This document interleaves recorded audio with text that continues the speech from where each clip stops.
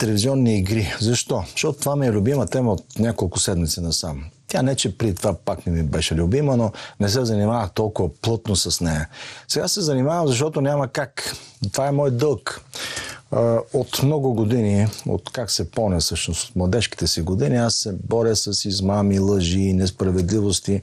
Всичко това, което дразни нормалния, обикновения човек, българина, този средностатистически българин, който обаче няма трибуна, той няма изявата, той не може да си каже думата по тези телевизии, които ви облъчват всеки ден. Нова, BTV и БНТ включвам, макар че тя е държавната телевизия, издържана от нашите данъци, от нашите пари, от нашите заплати. И като казвам нашите заплати, не мога да не спомена последната брилянтна идея на премиера Кирил Петков, който предложи да си дари заплатата и всички българи да го направят. Не знам, това е ето виждате, Петков призвава българите да дарят по една заплата за закупуване на боеприпаси за Украина. Сега, това е с боеприпасите и въобще с оръжието е основна тема във всички студия. След днес пак сутринта ги проследих. Основна тема. Това са коментатори, те са едни и същи, разбира се. Те са 4-5 абонирани за студията на телевизията на ЦРУ Нова, телевизията на, на колегите от други, другите колеги на ЦРУ на BTV и БНТ, която пък се ръководи директно от Американското посолство. Даже не им трябва ЦРУ там. Сега, тези, тази тема е основна тема в момента. Да даваме ли оръжие аджаба на Украина или да не даваме. Ама дали до сега не сме давали, пък ГЕРБ извадиха някакви списъци, някакви платежни, някакви фактури или какво са, в които обясняват, че ние и сега сме продавали оръжие на държави, които примерно след това го дават, го пре, препредават, препродават в Украина. На Конелия Нинова отрече това е яростно, категорично каза, че Борисов лъже и разправията продължава. Обаче въпросът дали да даваме оръжие на Украина стои. И даже аз тук пред мен има едно заглавие от преди няколко дни, когато беше тук на посещение, не знам дали още не е, впрочем, защото вижте какво казва Колеба, Дмитро, Дмитро Колеба, украински външен министр, така се води човек. Казва така, ще стоя в София, докато не получа отговор на исканията ми. Тази връзка по-нататък в предаването ще призова зрители и хора, които могат да кажат нещо по въпроса дали Аджеба е още в София е човек, защото отговор на исканията той не е получил. А исканията му са да получи оръжие от България. Ни повече, ни по-малко. Ще стоя в София, докато не получа отговор на исканията му. Тя очевидно му е харесало София, това го разбирам. Това е абсолютно разбираемо. Тук е нали, по-хубаво се живее, отколкото в Киев по-добри заведения има, има всякакви, сега вече паднаха ограничения, маски, сертификати. Със сигурност му е приятно да пребива в София. Въпросът е дали още е тук. По този въпрос няма информация в а, монополните чуждестранни телевизии, излъчващи на български язик. Телевизията на ЦРУ Нова и телевизията на, на ФБР а, BTV. Както и БНТ, разбира се няма информация. Дали е още тук лицето Колеба.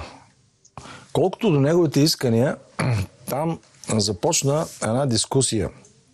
Включително и Слави Трифонов се обади от пещерата и каза, че а, той е предводител на ИТН, има такъв народ, има такава партия, ако не знаете, и каза, че е крайно време вече да дадем оръжие на Украина. Стига сме се а, туткали и нещо шикалкавили трябва да се даде по всякакъв начин, казвате, да бъде подпомогната, включително и с оръжие. На този а, а, акъл, на тази позиция също така от ДБ. Те по принцип там от началото искаха още да, колкото може повече оръжие да дадем. ГЕРБ, да не забравяме, които се водят опозиция, но са всъщност по-ястреби от ДБ. Те са по-ястреби от управляващите. ГЕРБ те отдавна опрекват управляващата коалиция, че не дава оръжие, че не дава така открито и трите танка, и трите самолета не ги е дал още на Украина. Това е, категорична позиция на ГЕРБ. Там няма колебания, макар че са опозиция. Тоест опозиция и управляващи са категорични, че трябва да даваме оръжие. Продължаваме промяната. Това е коалиция, която се превърна в партия тия дни.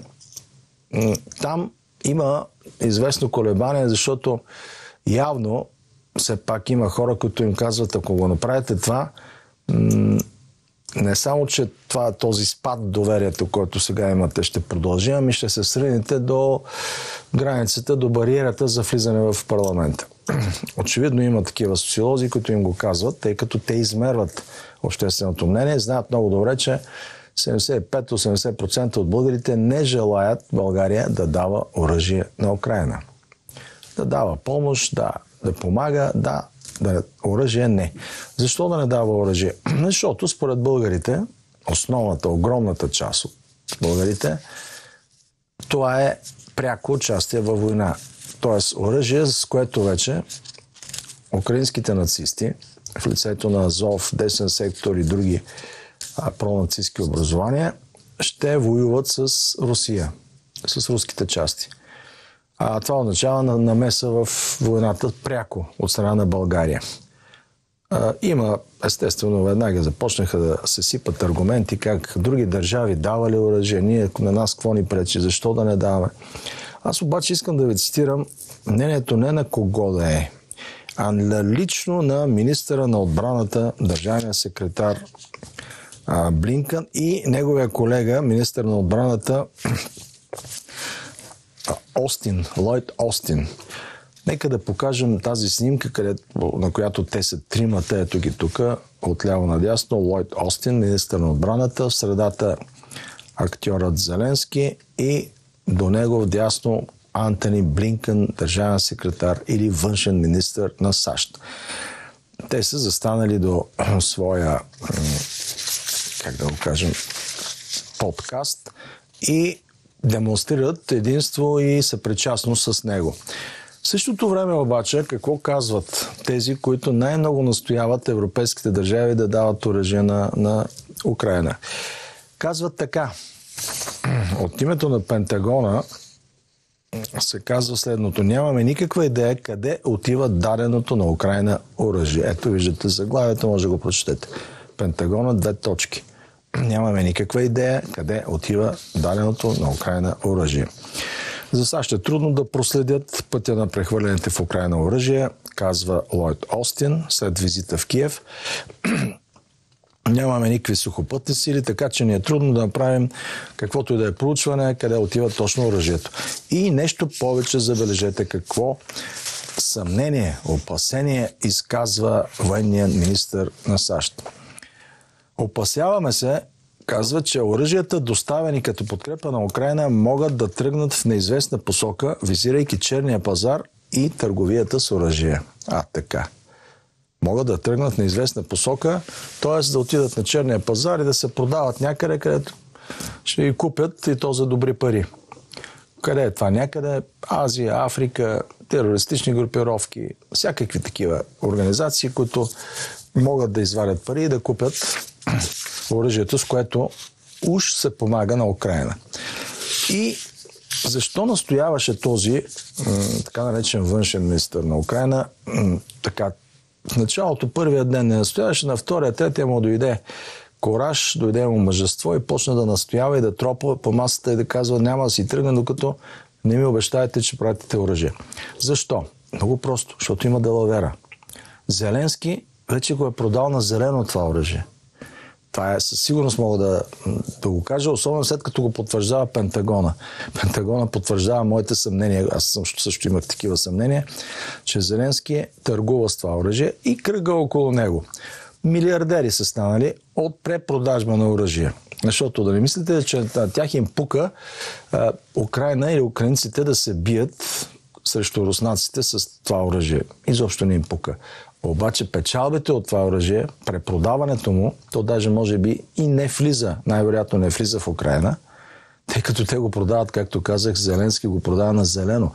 Още преди да влезе в Украина, той го продава през фирми, които още от територията на Полша, на Дания, на Литва, на Естония си го джиткат където искат, там където има клиенти, където има купувачи, а купувачи има. Докато има война, има надежда, имаше един такъв, един, една комедия преди години, един класически филм, а най-много от тези военни действия в момента печелят военните компании, тези, които произвеждат оръжие. Те сега потриват ръце и искат колкото може да продължи. Да продължат военните действия. Ама, те се казва Запада да се бие до последния украинец. Затова точно потикват и сръчкват своята марионетка Зеленски да се прави на герои, да излиза с каски, с тениски, с маскировачен костюм, да обяснява как героично ще отбранява родината си, също време да се крие кой знае къде, в някаква резиденция извън Украина, да предава от някакво студио своите комуникета и да се прави на ангажиран във войната, а всъщност на някой западен курорт от съответно оборудвано студио, както в да разлаем кучетата, спомняте си този филм. Пускали сме откази от него много пъти. Там направиха такова студио, в което да, да изглежда как точно една уж албанка бяга от уж бомбардиралите селището Сърби. Тези измами, тези фейк сторита, телевизионни игри са в действие много отдавна. Аз само да завърша моя въвеждащ коментар с една аналогия, тъй като много папагали у нас повтарят това, че Русия била агресор, че каквото и да говорим, това не е хубаво. Как така нападна една държавица, прекрасна, мила и суверенна, като Украина, която между другото не е регистрирана в ООН с териториалните си граници. И как това не е хубаво, защото е агресия. Много м- факти има, ние сме ги показвали тук. Пак ще ги показваме. Аз в моите коментари пак ще ги повтарям, защото повторението е майка на знанието, че преди военната операция на Русия в Украина, Украина, по-точно НАТО, чрез Украина се готвеше да нападне Донбаските територии. Там беше струпана 250 хилядна армия и се подготвяше превземане на тези територии геноцидно унищожаване на рускоязичното население до края и вече, освен това, което до сега правиха, да го изчистят, да бъде избито, прогонено там и да се пресече всякаква възможност тези две републики, Донецка и Луганска, да проведат, да проведат референдуми и да обявят своята автономност и независимост. Така както, впрочем, беше предвидено в Минските споразумения, които обаче Зеленски не спази. Това беше подготвено за края на февруари. Беше подготвено през цялата минала година с много сериозна натовска подготовка, инструктори, въоръжение, финансиране, подготовка на нацистския батальон на полка Азов, подготвяне на тежко въоръжение, с което украинските военни сили да смажат цивилното население в Донбас и да пресекат всички възможности това население да иска автономия. Това се подготвяше. Има прекалено много данни за това. Точно за това американските средства за информация тръбяха, че Русия ще нападне. Да, тръбяха, защото знаеха какво подготвят. И защото знаеха, че единственият отговор на Русия е да започне военна операция, с която да пресече възможността да се извърши геноцид – да се довърши този геноцид. Той вече се вършише от 14-та в Донбас спрямо рускоязичните, а и други етноси, не само руснаци, и да се направи едно прочистване. Така, както бяха го направили 95-та година с Харватската армия, която нападна сръбска крайна и четвърт милион сърби бяха прогонени, незнаено колко от тях избити по пътя – за да може тази територия да се десърбизира и да се обяви за мюсулманска. И така и стана. Тази същата операция беше предвидена за Донбас. Само, че руснаците не попаднаха в този капан, избегнаха го и изпревараха с изпреварящ удар. Именно за, сега, за това сега в момента е тази изнереност, тази истерия – и този разнобой вече в западните държави, начало с САЩ, които потикват, САЩ потикват Евросъюза да налага санкции, да спре руски газ, петрол, нищо да не купува от Русия, само че германците казват, да, ама това ще ни удари толкова тежко, че ще преживеем криза, каквато не сме преживяли от 45-та година, войната, Втората световна. И не са съгласни с това. И започва разнобой. Започва един разпад, който може да доведе буквално до разграждане на така наречения Европейски съюз. Той без това не действа много отдавна истински. И да се окаже, че всъщност новия световен ред сега започва да се изгражда. Да се окаже, че всички тези напани Украина да бъде подпомогната и с оръжие, всъщност не действат, тъй като, както вече казах, оръжието се препродава.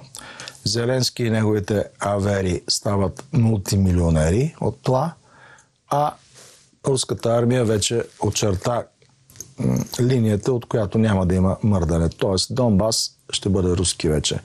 Украина ще бъде някаква федерализирана общност от тук нататък, в която вече няма да има възможност да се преследват другоязични, друговерци, руснаци, българи, евреи, цигани, православни свещеници да се избиват и бесят и горят живи. Това няма да бъде вече възможно в останалата част от Украина. А биолабораториите, които бяха подготвени там от американци за оръжие срещу Русия, установките, тежки стратегически оръжия, които бяха подготвени да се настанят в Украина и оттам за 5-6 минути да стигат до Москва, всичко това отива в канала. Приключи. Именно за това е цялата изнервеност. Ние, българите, да се върнем накрая да обобщя, България става жертва на тази изнервеност на американците, защото те разбраха, че губят тази война, която започнаха. Те започнаха, не Русия. Губят я и ще я загубят и в финансов план. И това много ги разстройва. Дано не ги накара да направят някакъв отчаян ход, но дори да, да ги накара, аз не вярвам вече в доминацията на САЩ като единствена световна сила. Това приключи. Тази пиеса свърши и ние ще имаме един съвсем друг, нов свят, в който най-после цивилизационните ценности, за които много говорим у нас, ще си намерят своето място истински ценности, измислени ценности. И кой каквото иска да реши и да избере. Но ще бъде ясно кои са истинските и кои измислените.